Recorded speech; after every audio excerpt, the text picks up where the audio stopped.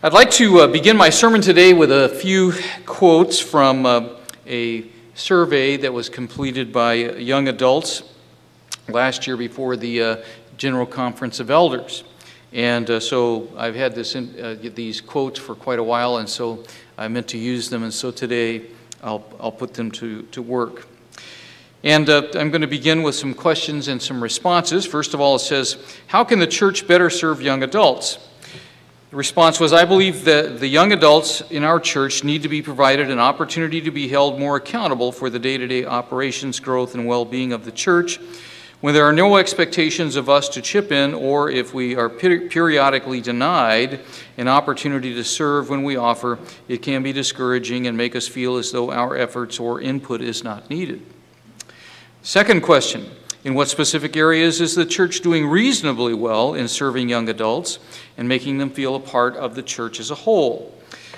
The response involving young adults at camp activities, winter family weekends, and other activities that bring us all together uh, with not only people our age, but younger and older generations of, the, of church members. And finally, the final question and responses In what specific areas is the church not doing well in serving young adults and making them feel a part of their local congregation? I think it would be great if the young adults could be brought in under the wing of some of the deacons and elders to assist with some of the behind the scene activities that take place in order to keep the church operating smoothly every Sabbath. There are other activities that take place, elders anointing an ill member, that I have never uh, personally observed or am not very familiar with. If I ever am asked to be an elder in the church someday, it would be great to already have a, have a familiarity with it. Just so you know, when I was ordained an elder, nobody explained to me what, it, what an anointing, what you were to do when you anointed somebody. So when I started, I didn't know. So I just stood there and watched the other guys what they did and said, okay, that's the model, and that's what I try, uh, tried to do from there on out. Uh, it goes on to say there are, um, uh, the, final, the final comment here is allowing them more opportunities to participate in church, for example, giving the prayers. So the comments that were made here seem to indicate a desire to become more involved in the church. And as we saw from my previous sermon, we do need more involvement in the church in order to fill the gaps that are going to appear and uh, to carry on the responsibilities and duties that are found in a local congregation. Uh, we've looked at that particular subject. We see that uh, we are an aging uh, group of people for the most part, and many of the people who have been the longtime servants, they are aging, and, and in 10 years, the, the church will be a very different place.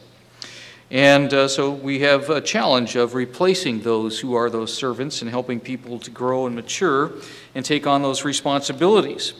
So the question that went through my, my mind that I thought I would answer today is this. So, how does a person become involved in the church and begin to make a greater contribution to a local congregation?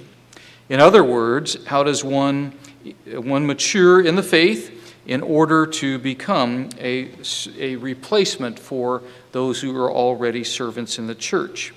So, what we're going to do is we're going to take a look and see what the scriptures have to tell us about that particular subject. And again, we're going to take a historical perspective. What we're going to do is we're going to look at the church and how it began. Uh, then that began uh, on Pentecost and see how the church expanded uh, beyond that first Pentecost. And the model that we find there is the model that we've always followed and will continue to follow as far as the church is concerned. So we begin with the church in Jerusalem. On the day of Pentecost, thou, you know, thousands and thousands of people that were God's people gathered on, in Jerusalem at the temple. And uh, a portion of those people had been asked by Jesus Christ to be there. He told them to be at the temple on the day of Pentecost. And so they were gathered there in the temple in, on 30, in 31 AD. And uh, so what happened on that day was God's Spirit was poured out on that portion of the people there. A lot of people saw the wind, heard the wind blowing, and saw what was taking place, and it was truly a miracle but only a portion of the people gathered there received God's Spirit. And uh, so God's Spirit was poured out on them. The first uh, sermon was given, and uh, people were pricked in their hearts, and they responded. And let's begin in Acts chapter 2 and look at verse 40. So, God's Spirit has been poured out upon the people at this point, and the church is off and running as Christ wanted it to be. Acts chapter 2, verse 40. It says, And with many other words he testified. So uh, Simon Peter has given the first inspired sermon of the New Testament church. He's uh, uh, given, he's exhorted them and uh, spoken to them with many other words. And he said, Be saved from this perverse generation. Then those who gladly received his word were baptized. And that day, about 3,000 souls were added to them, and they continued steadfastly in the apostles' doctrine, and fellowship, and the breaking of bread, and in prayers. Then fear came upon every soul, and many wonders and signs were done through the apostles. Now all who who believed were together and had all things in common. So uh, the people that had traveled from distant locations, they all stayed on in Jerusalem. And they needed places to stay, and they needed to be, to be fed and to be taken care of. So provision was made by those people who lived in Jerusalem to take care of those who were, had come from distant locations in order to be there on the Feast of Pentecost. So all the church was unfolding, and they were learning, and they were growing, and they were all working together in a committed way at this particular point in time.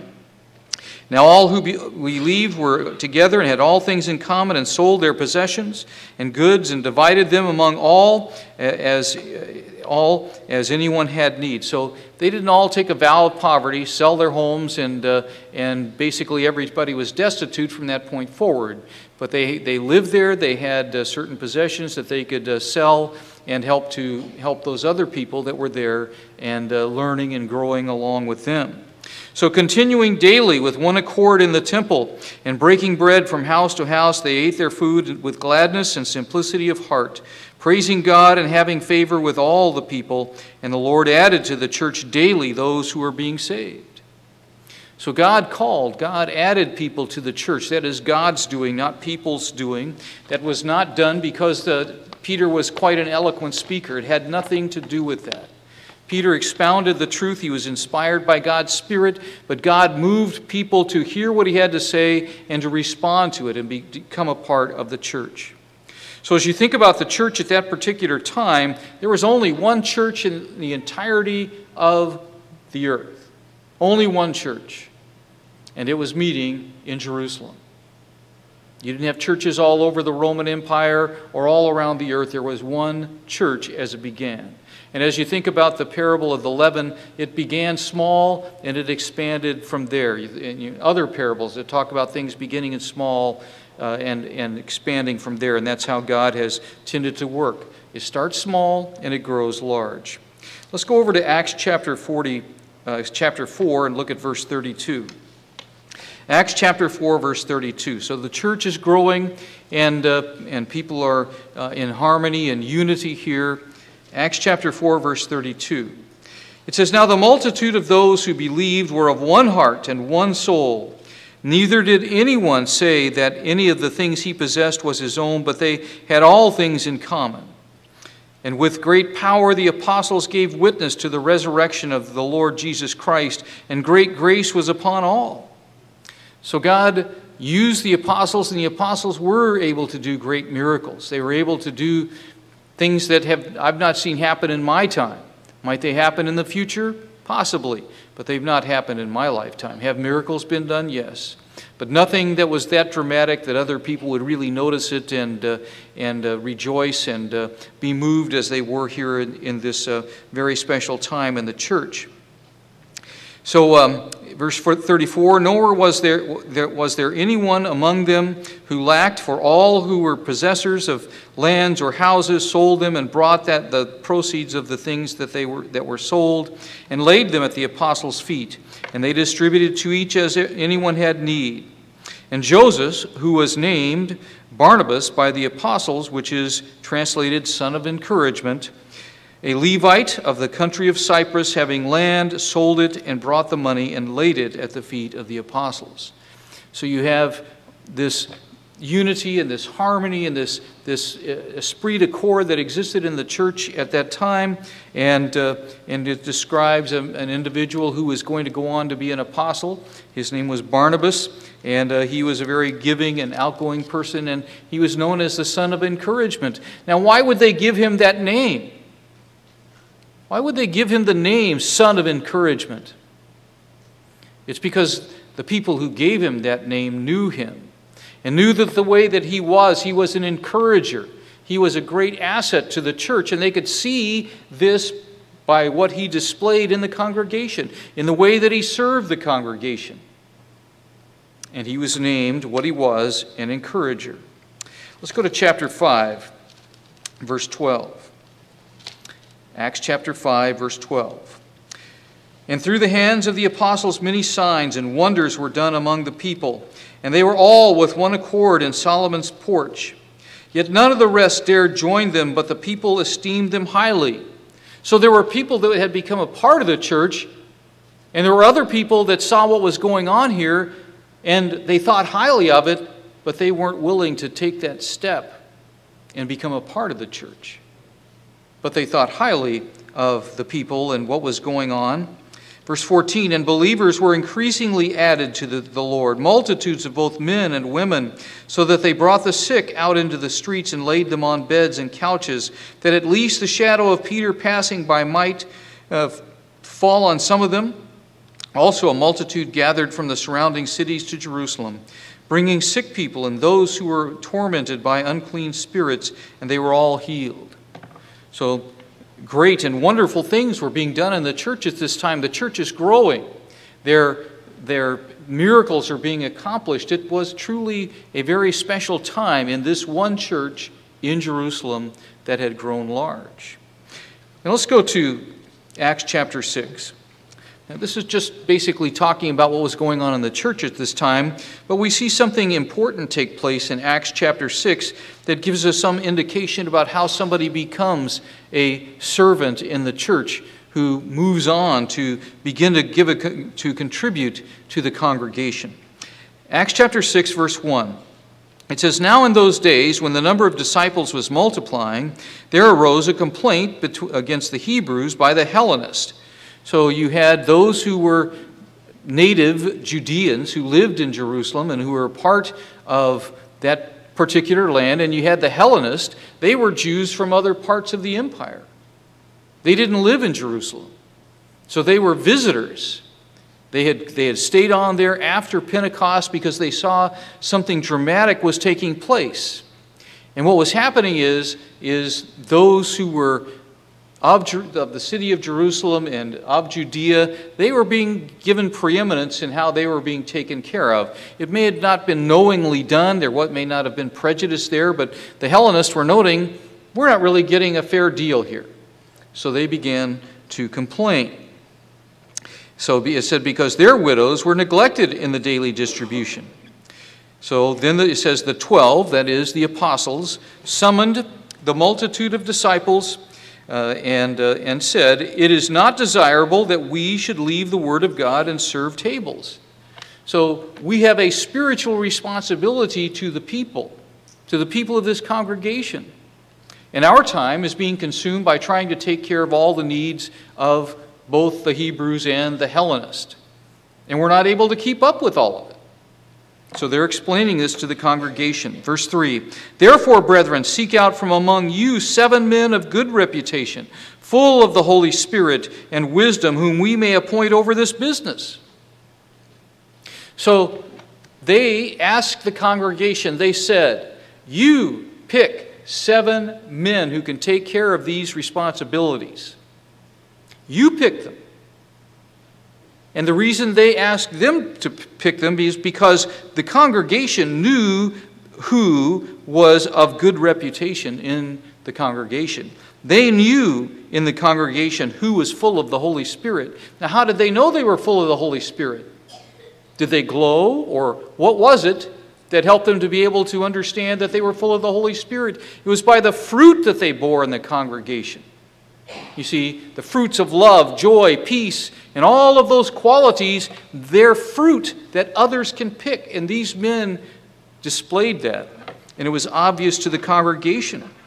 Men of, who had the Holy Spirit and wisdom. And he said, These men, because of the quality of their character, we will appoint them over these responsibilities. And they said in verse 4 But we will give ourselves continually to prayer and to the ministry of the word. And the sayings pleased the whole multitude, and they chose seven men, and they're all listed there for us, whom they set before the apostles. And when they had prayed, they laid hands on them. So they set them apart for God's purpose to serve as deacons in the church. And then it says in verse 7 Then the word of God spread, and the number of disciples multiplied greatly in Jerusalem, and a great many of the priests were obedient to the faith. So we can see that the church was organized. There were apostles, and they sought to get, have uh, ordain other men to help in the, the service of the church. There was an organization here. It was not just fly by night. So there was an organization in the congregation they ordained these men and uh, they began to serve the congregation as de- deacons. And um, let's go down to verse 8. And it talks about one of the deacons who was ordained. His name was Stephen. He was full of faith and power, did great wonders and signs among the people. Then there arose some from what is called the synagogue of the freedmen, Cyrenians, Alexandrians, and those from Cilicia and Asia, disputing with Stephen. So the church is moving forward. They're preaching the gospel, and Stephen was moved to preach the gospel as well, to share the truth with others. So he comes into contact with the people of this particular synagogue, and one of the people who was of this synagogue was the Apostle Paul. He was from Cilicia, and he was there in Jerusalem, and he attended this synagogue, and they were disputing with Stephen. And uh, Stephen was filled with wisdom and able to expound the truth to them. And as it says in verse 10, and they were not able to resist the wisdom and the spirit by which he spoke. But they didn't like what he had to say, and they sought his downfall. And uh, they, they could not resist his arguments, and uh, they sought to do him in. So then, as a, as a result of Stephen's uh, preaching and uh, the unhappiness that these people had with him, uh, Stephen is martyred. And uh, this was just the beginning of challenges for the church. Let's go to chapter 8. So Stephen is stoned to death. And it says in chapter 8, verse 1 Now Saul was consenting to his death. Saul stood there, he watched what took place. They laid their garments down at his feet, and the people went on to stone Stephen. He saw this. He was consenting to it. He thought it was the best thing to happen to the, for the people of God at that particular time. And as you look at the Apostle Paul, he was an enemy of the church and of Jesus Christ. So um, it's Saul consented, was consenting to this, and going on in verse chapter 8, verse 1, it says, At that time a great persecution arose against the church, which was at Jerusalem and they were all scattered throughout the regions of Judea and Samaria except the apostles. So persecution set in, and the church is scattered. So the church probably thought, well, we're going to go on like this forever. That wasn't God's intention. So he allowed Stephen to be martyred, and he allowed the church to be scattered. So people went out from there. And, uh, you know, you either got out of town or you may have uh, suffered the same fate as Stephen. So people scattered out from Jerusalem.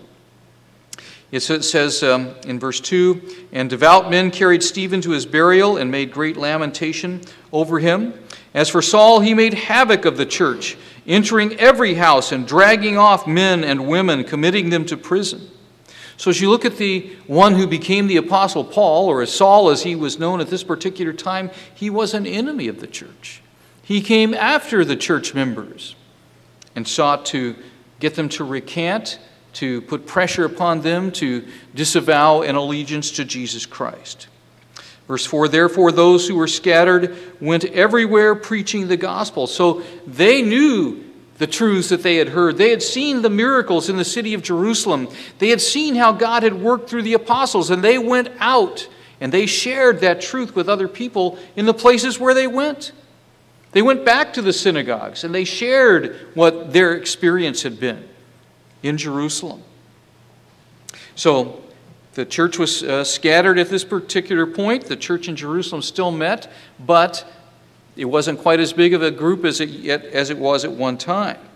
And as you think about it, where did, these, did the people go? You realize that there were people from all over the world in Jerusalem for the Feast of Pentecost.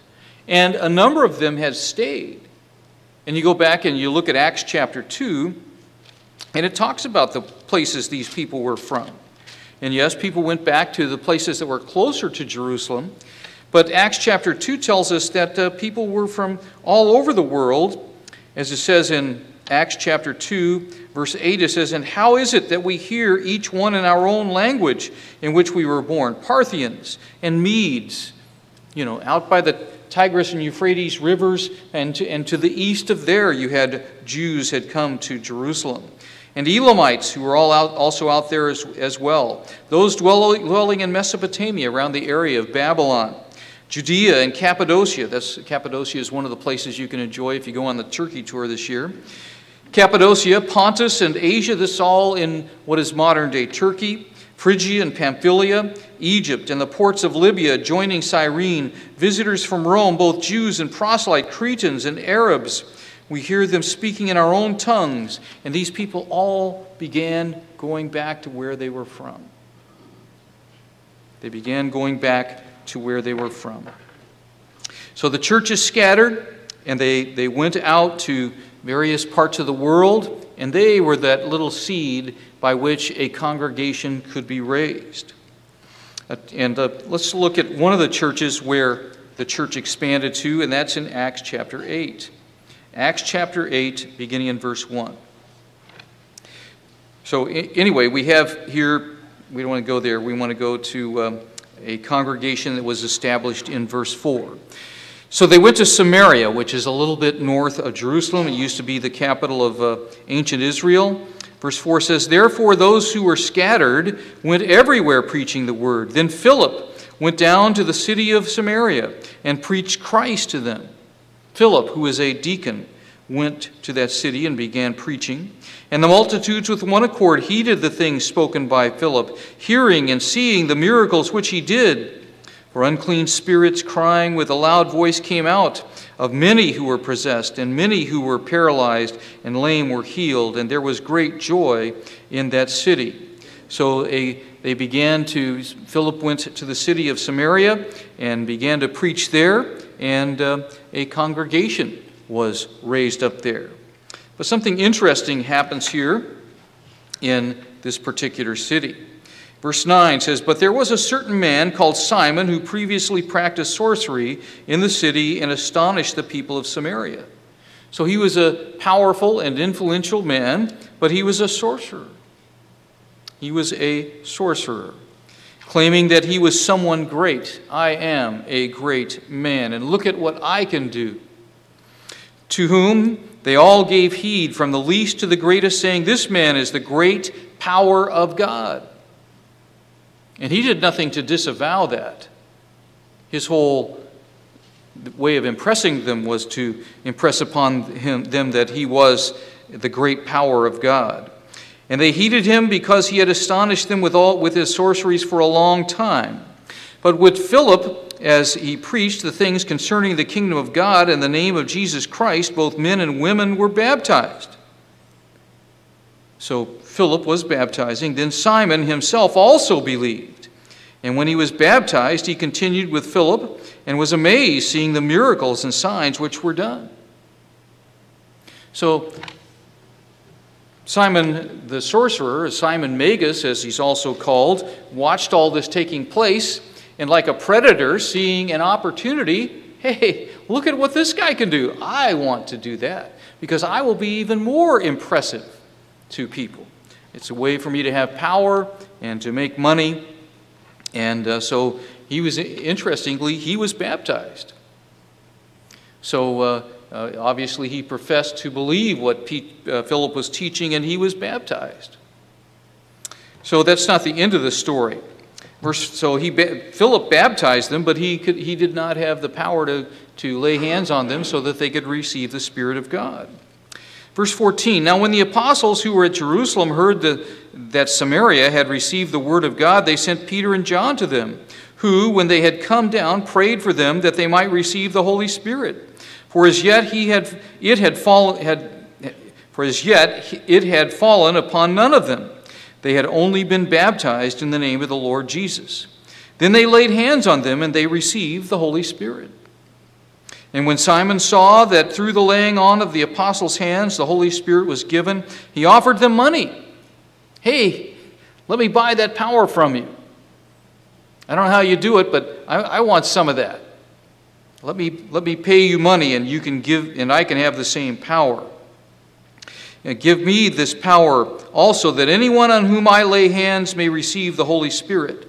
And how do you think he would uh, put, put that to use? He'd probably say, Well, for a little bit of money here, we can take care of you. That was his plan. This is going to be a great moneymaker. So, but Peter said to him, Your money perish with you because you thought that the gift of God could be purchased with money. You have neither part nor portion in this matter, for your heart is not right in the sight of God. And what does he tell him to do? He says, Repent, therefore, of this your wickedness, and pray God if perhaps the thought of your heart may be forgiven you. So Simon was just in this for the money and the power and the prestige that he could have, and God helped Peter to recognize where this man was coming from. And he did not, he did not lay hands on him. He did not allow, you know, God's Spirit uh, was not poured out on him. And, uh, but Simon went on to use uh, what he had learned and to put it to work and to uh, be instrumental in the uh, creation of a false Christianity. The church also spread to Damascus, and Paul re- received uh, authorization from the high priest to go to Damascus and to uh, begin to attack the Christians there. And uh, on his way to Damascus, as we learn in Acts chapter 9, Christ confronted the Apostle Paul and uh, asked him, What are you doing? Why are you doing this to me? And uh, so he, Paul was uh, blinded, and Paul was, uh, went through a process there and, uh, was, and chose to follow God. He realized something powerful had come into contact with him, and that, that, that what had come into contact with him identified himself as Jesus Christ, the one that Paul was attacking. And Paul very quickly turned from that path of being an enemy of the church to being one of the greatest servants of the church ever. But you know, when he turns on a dime like that, most people aren't going to buy it. Hey, this is probably just a ruse to find out who the Christians are, and then we're all going to be carted, either killed or carted off to prison or whatever. So people didn't trust Paul right away. They had their doubts, doubts about him. But, uh, and as Paul goes, begin, you know, Paul was a zealous individual. So he was attacking the church, and then he turns on a dime and he becomes God's servant and he's sharing the gospel with people, offending them and stirring up trouble. And eventually, uh, you know, he was doing. He had to escape Damascus. He went to Jerusalem and was stirring up trouble in Jerusalem. And finally, they said, "You know what? You need a little seasoning. Maybe you need to go back home to Tarsus and learn some things where you maybe will be wiser in the future."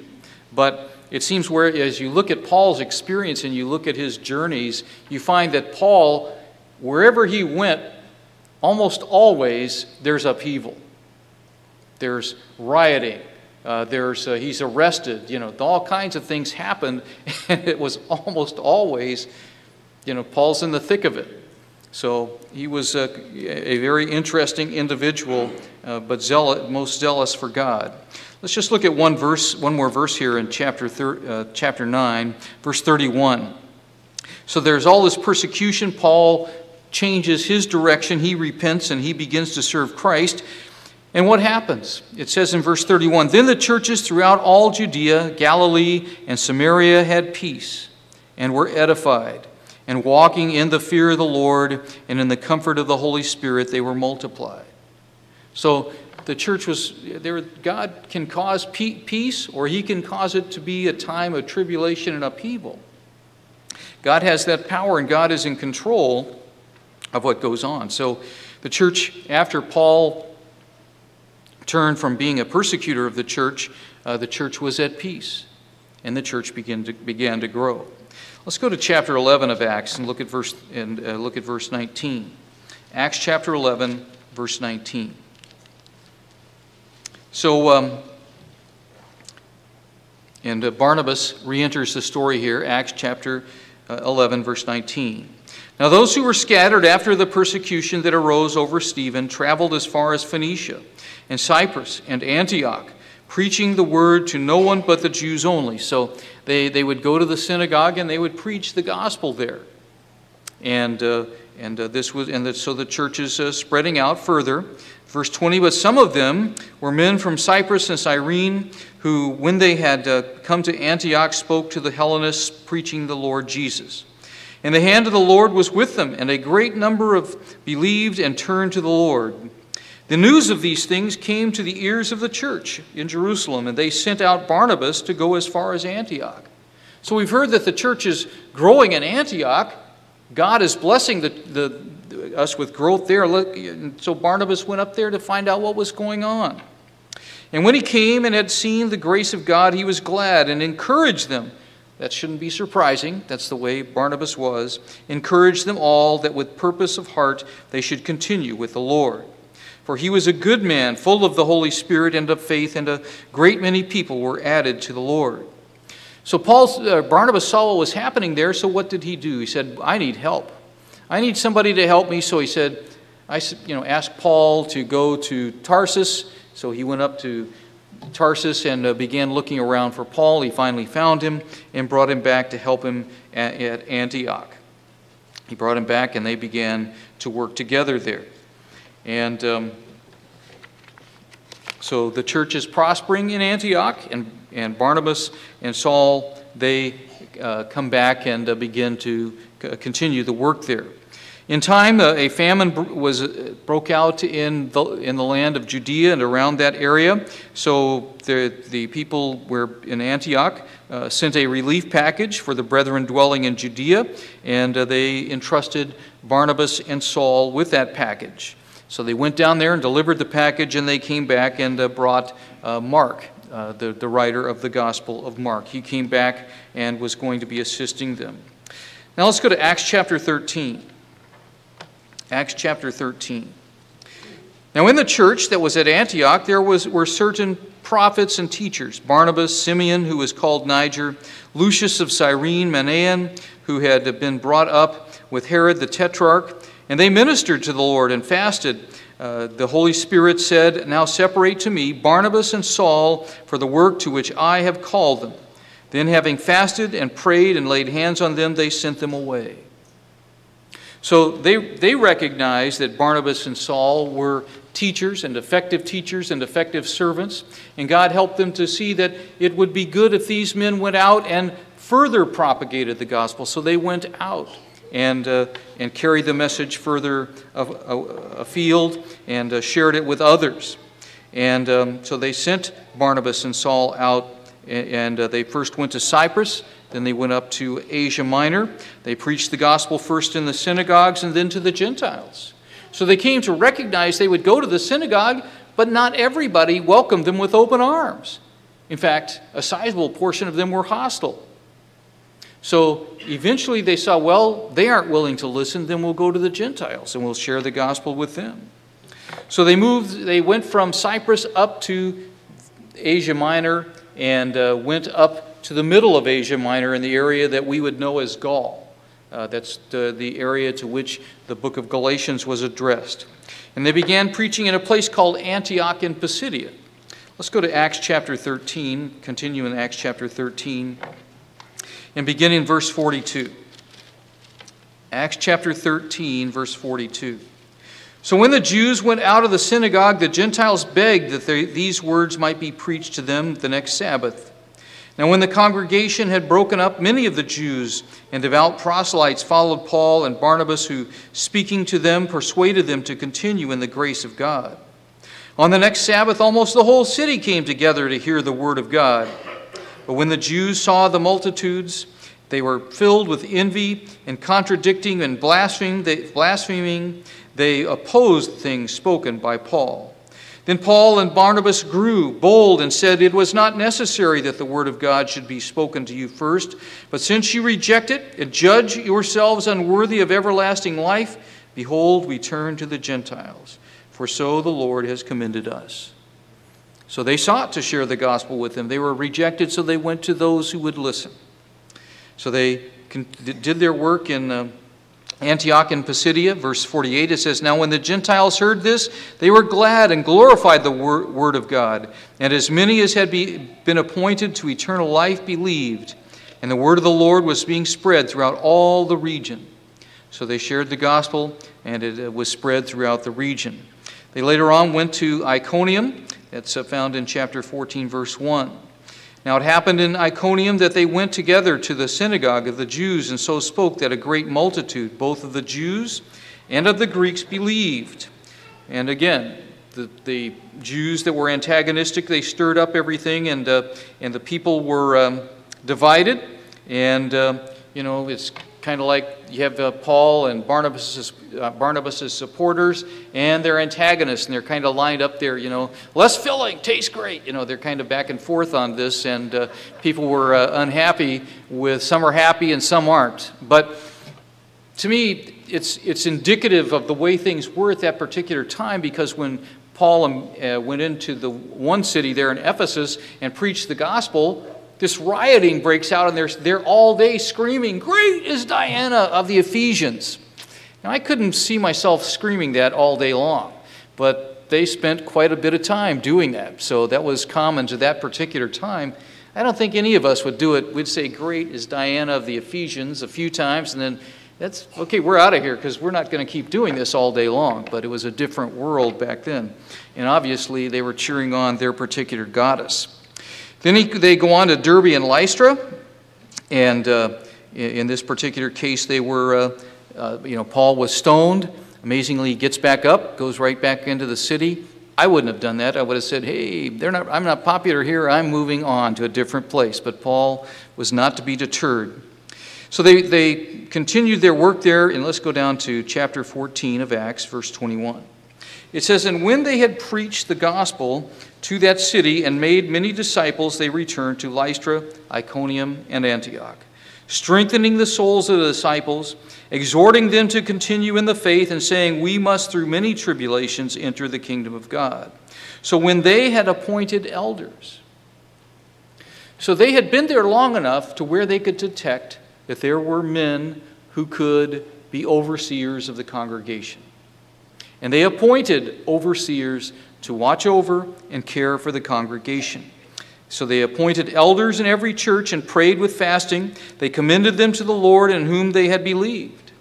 So they had probably explained some things to them, they had taught them some things to them, but they didn't spend years there.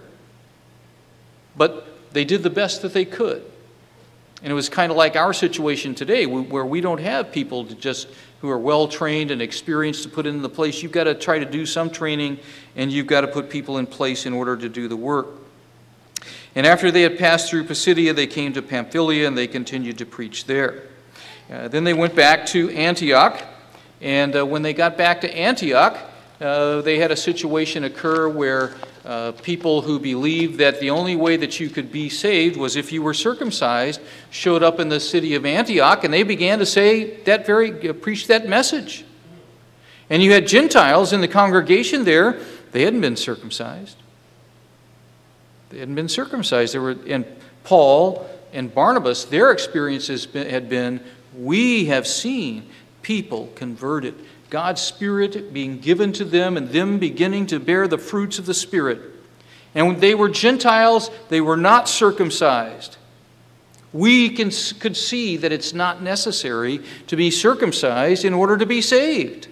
And so a big argument broke out between Paul and Barnabas and uh, these uh, preachers that had come up from Jerusalem. And uh, so they, the congregation said, you know what, we need to resolve this. So we're going to send you down to Jerusalem to the apostles. So we're going to send you down to the apostles and we're going to get this worked out. Chapter that's that's in Acts chapter 15, verse 6. And, uh, and it says in verse 6 there, Now the apostles and elders came together to consider this matter. The, the congregation in Antioch didn't figure this out.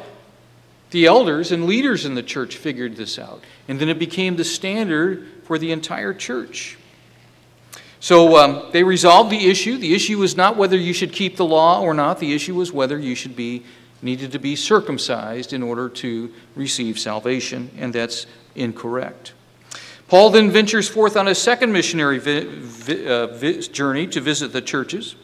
And, uh, and uh, you know, as you look at that second uh, uh, journey, uh, Mark had failed on the first journey. Basically, he had said, I've had enough, I'm going home. So when the second journey is about to unfold, Barnabas said, Let's take Mark. And Paul said, No way. This guy bailed out on us on the first journey. We don't want this guy with us. He's going to bail out on us again. So he, he, no way he was taking Mark. So Barnabas and Paul said, We'll part our ways. We'll still do the work, but we're not going to work together. And Paul took Silas with him and went on uh, went about strengthening the churches, uh, went through Syria and Cilicia, strengthening the churches. And let's go to Acts chapter 16. Acts chapter 16. So we've already seen that Paul and Barnabas had gone to Lystra and Derbe. And uh, they went back to Lystra and Derbe into that area and we find out something interesting here about somebody who's grown and matured and showed themselves ready to be of greater service to the church. Acts chapter 16 Then he came to Derbe and Lystra, and behold, a certain disciple was there named Timothy, and the son of a certain Jewish woman who believed, but his father was Greek. He was well spoken of by the brethren who were at Lystra and Iconium. Now, how could that happen? How could they come to be able to assess him in that way?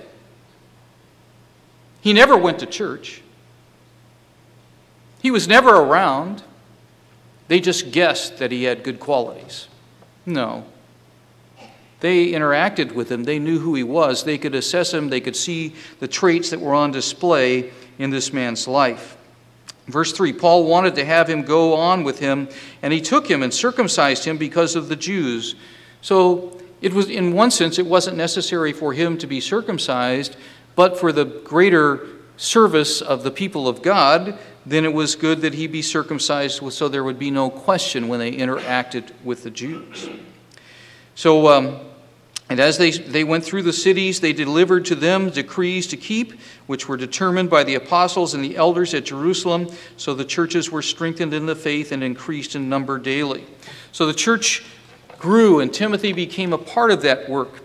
The congregations were established, elders and deacons and deaconesses and others were appointed to care for the churches, and the churches were organized in order that the people could best be served. And the people that were chosen were those people who bore the fruits of the Spirit, people in whom they could see wisdom and a, a willing and servant like heart to help and serve the congregations. Paul, having gained experience in establishing congregations, uh, imparted his knowledge to two men, Timothy and Titus.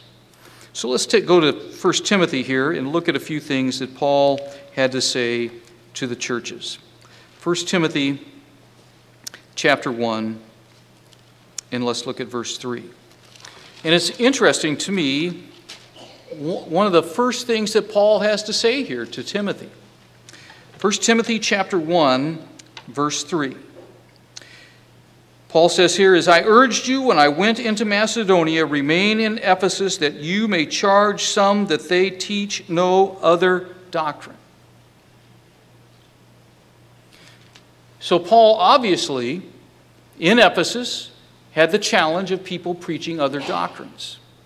We're not people talking about people talking about how great is Diana. We're talking about people in the church preaching doctrines opposite from what Paul had taught. So they're teaching other things and they're creating confusion in the congregation. And Paul says, I'm going on to Macedonia. You stay here and you address this. So, you know, doctrine is not just a matter of opinion.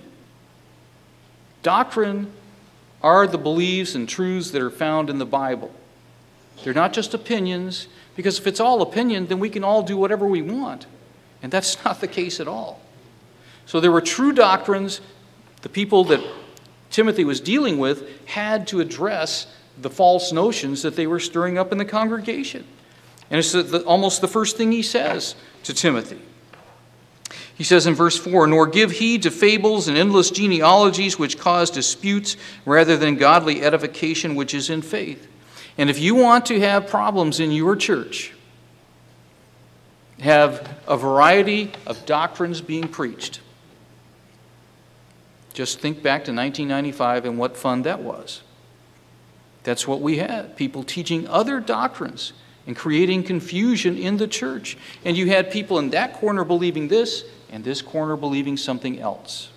And it was an ugly, ugly time in the church of God. But, that, but it does happen, and it was happening here. They, and so Paul had to address it, Timothy had to address it. So, you know, we have a certain, you know, we have fundamentals of belief. And we believe in those things. And for someone to go through the congregation preaching something that varies from that, that's, that's the road to destruction of the congregation. So if there's anything that I don't believe, then you know what my job is to do? Keep it to myself. It's not something I should share with you. And I should try to prove what is right and true. And if I've got if I can't understand it or figure it out, I can talk to people that are smarter than I am and try to figure it out that way. But my, my responsibility and the responsibility of leaders in the church is to hold fast to the truth and to make sure that they that's all they impart to the congregation because they can do great damage otherwise. So you go to 1 Timothy chapter 3, and we're not going to read through chapter 3, and it gives us criteria for someone that you would select as an elder, criteria for someone that you would select as a deacon.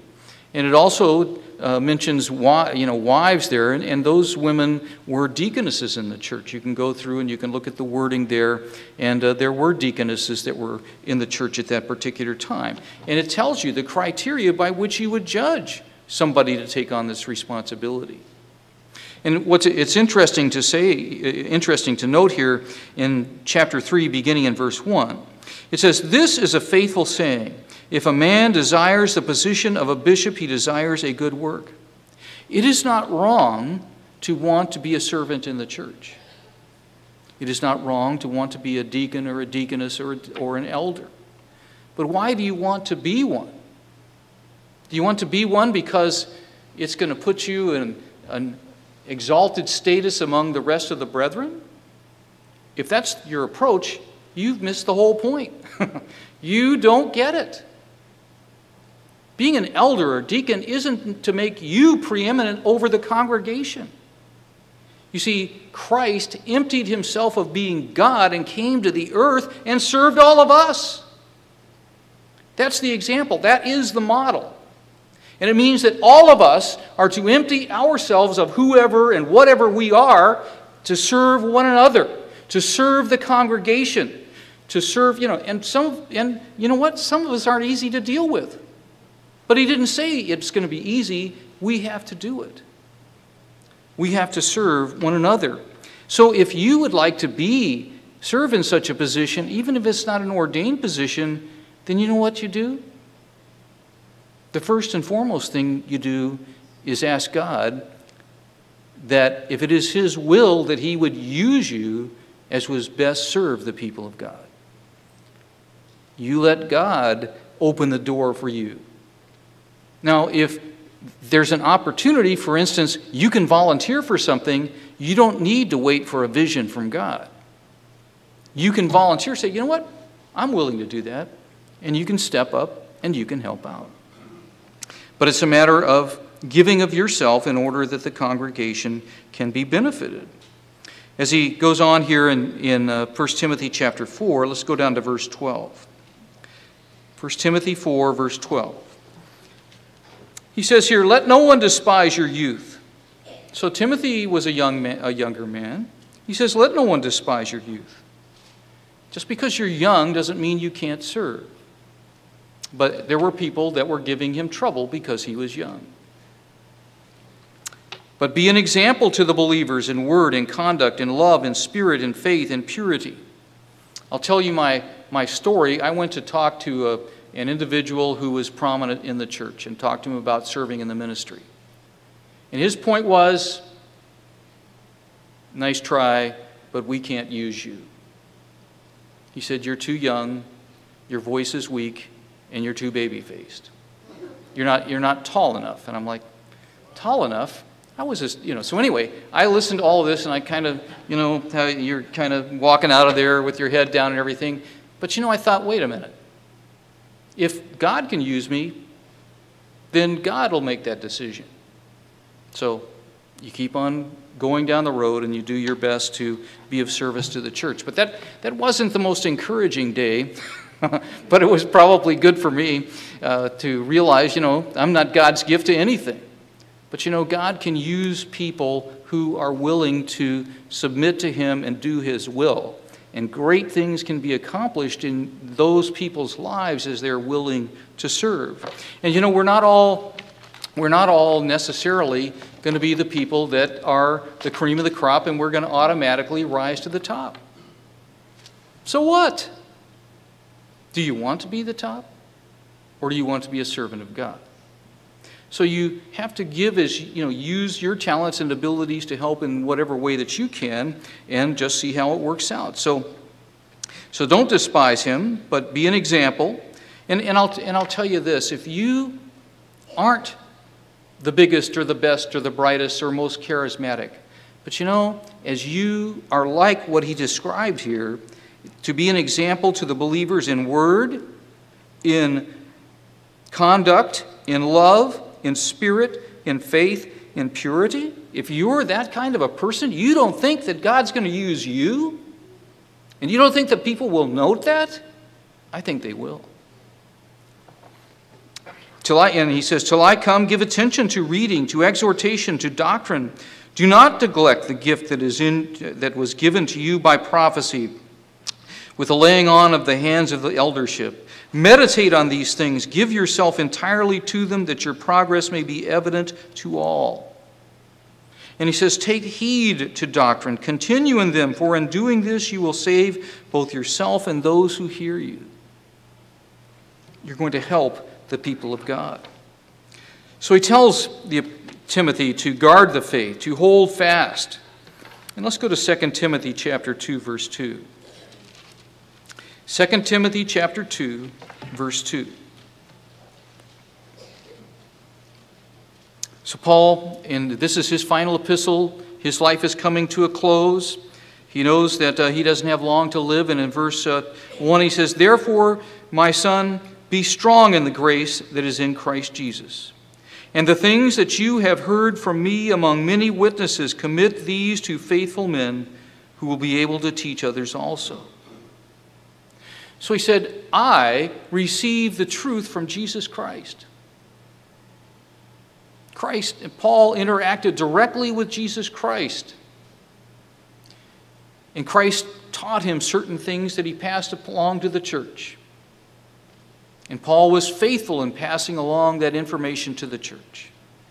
And he says, Timothy, you're going to carry on after I'm gone. And your responsibility is to take the truths that I have shared with you and share them with God's people. And this is, that's not a new concept. That's the same concept that's been a part of the church forever. And it's a concept that's going to help the church to be successful. So, what I was taught it's my responsibility to teach you. So I was taught certain things, and I, have been blessed to be, have been taught those things, and they've been a blessing to my life. And my responsibility is to teach them to you and to teach them others who will carry on the legacy after I'm dead and gone. That's what you want, is to make sure that the truth is imparted to others who will carry on that truth. Let's go to look at one final scripture here in this regard to Titus and Timothy. Titus chapter 1, verse 5. Titus chapter 1, verse 5. And uh, Titus is in Crete, and they're having trouble in Crete, and Titus is going to be the one that's going to have to deal with it. Titus chapter 1 verse 5 it says, "For this reason I left you in Crete, that you should set in order the things that are lacking, and appoint elders in every city as I commanded you." So there were things lacking in the church, and Titus's responsibility were to restore those things and to establish the things that were lacking. He says in verse 6 If a man is blameless, the husband of one wife, and he goes on and talks about uh, these qualities having faithful children, not accused of dissipation or insubordination. And he talks about a, um, a, uh, an elder and the responsibility to be an overseer in the church. And uh, he says in verse 9 Holding fast the faithful word as has been taught, that he may be able by sound doctrine both to exhort and convict those who contradict. So there were problems in the church, and his, his Titus's responsibility was to go into those churches and help those churches and uh, help them to see the truth and to practice the truth. So as you think about the question, how do we come to serve in the church? We can see that there's a clear criteria applied to those who want to serve, especially in an ordained office. This isn't something new. You go back to Deuteronomy chapter, or excuse me, Exodus chapter 18, and it talks about the choosing of men who would serve as captains of hundreds and fifties and tens. And they had to have the qualities that we see in the New Testament. They were wise, they were faithful, they were just, they had proven these things. These are the men that you would choose, and that's what we continue to do. And one doesn't assume responsibility without some scrutiny. You know, I mean, the most obvious thing is are you here regularly at church? You know, if you're not here regularly, we're probably not going to use you, especially in getting up in front of the congregation. And um, there's some scrutiny. And uh, like it, we're told in Matthew 7, verses 16 and 20, it says, By their fruits you shall know them. So we don't know what your fruits are the first day you're here. You know, we have to, we have to watch you and we have to say, okay, what's he doing? What are she doing? And, and be able to note those qualities that individuals dis- are displaying. And as you watch, you see what they're doing. And as they, they show themselves to be faithful, then you can give them more responsibility if they, they want to take that on.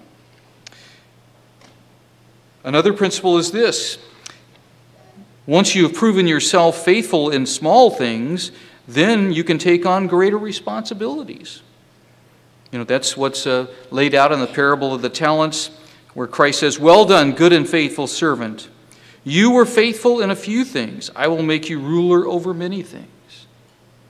So when you're given the opportunity to be a greeter at the door, are you here? When you're scheduled, do you show? And then do you enthusiastically do your job?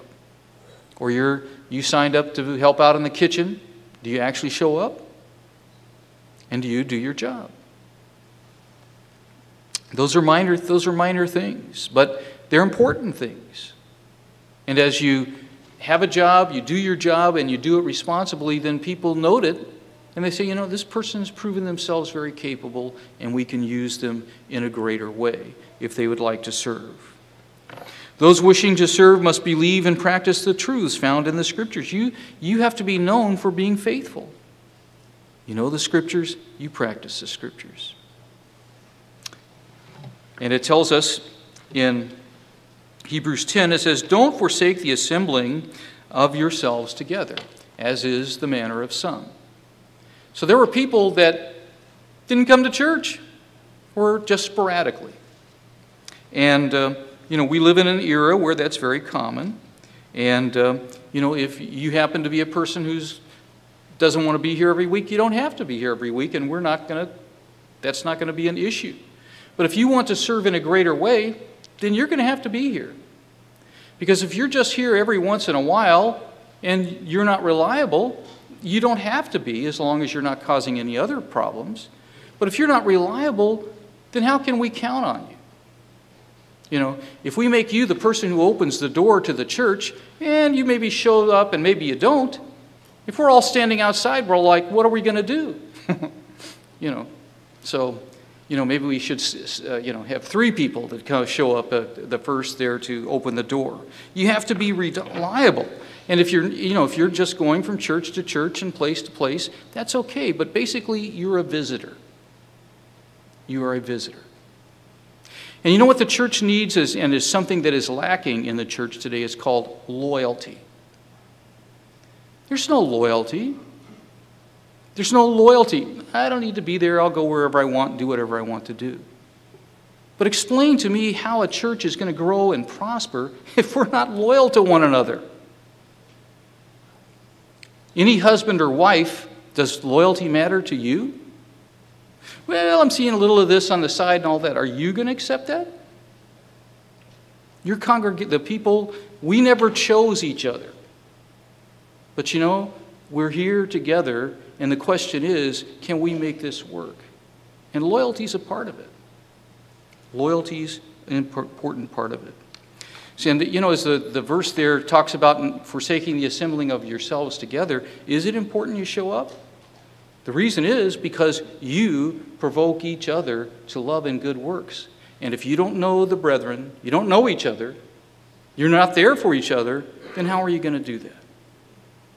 You can't provoke people. Well, you might provoke them, but you're not going to provoke them to love and good works unless you're there. And they know, and by the fact that you are there week in and week out and you're doing the service of the church, they know you care. They know. And as a result of that, the church is encouraged and grows and prospers. There are certain jobs for which we can volunteer, and volunteer to help is where it begins. And uh, and so, you know, oppor- there is opportunity, take advantage of it. There are other jobs for which you must be chosen based on your fruits. You know, so we, you know, we try to look at your fruits, you know, and, and, and as a result of your fruits, add you to the, uh, the opening and closing prayer list, uh, sermonettes, speaking, song leading. And um, we must see fruits before putting someone up before the congregation because you're in a, in a prominent leadership role and, and it's an important thing. All of those whom God has called, brought to repentance, and have received the down payment on salvation, the Holy Spirit, have the opportunity to bear fruit and to become servants in the church. And the church needs such servants. The question that we all have to ask ourselves is will we yield to God in, in order that we can bear fruits in His service? Will we yield to God and bear fruits in His service? If so, then, if we are yielding ourselves in that way, then we will bear fruits and we will be given opportunities to serve in the congregation. And you may say, well, nobody notices me. Nobody cares that I'm even at church. I'm like invisible. My answer to that is so what? And I say that because of this. Because there is, if you have a relationship with God in heaven, you talk to Him regularly. You study your Bible. You're seeking to practice the truth. He tells us in Psalm 75, he says, that exaltation doesn't come from the east, it doesn't come from the west, it doesn't come from the south. Where does it come from? It comes from the north, where God dwells. Exaltation is not something that comes from men, it comes from God. And God allows us to be exalted at the right time, in the right place, and in the right way. And as we yield to God, and we can go to God and say, you know, I would like to be of greater service to the church. If you can use me, please use me. That's a wonderful prayer. But it may not be the next week that you're going to be giving a sermon or any of that kind of thing.